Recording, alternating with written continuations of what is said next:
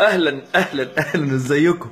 اليوم الحمد لله ربي خرج عادل إمام آه، أول تصريح ليه هو ما يتكلمش برشا في في الميديا حتى في مصر وقال ما عندي حتى مشكلة وشنو الزوبعه هذه اللي تخلقت والناس اللي تحب تخلق الفتنة؟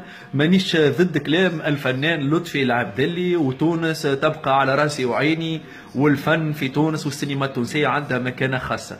وقتها نقول لك يا عادل إمام أنت زعيم وراجل كما نحن نقولوا انت بوها. فما حاجة أخرى ربي نحب نرد عليها. برشا كي أنا تكلمت قلت تونس أبو الدنيا والسينما التونسية أبو السينما برشا ولاو يسبوا في الفنانين التوانسة اللي في مصر وقال لك هاكا جاونا ويستقاتوا عنا. لا نحب نقول لكم مع احترامي لهم الفنانين نتاعنا حتى في مصر وفي فرنسا وعندنا في العالم الكل الفنانين متألقين عندنا حتى في هوليود.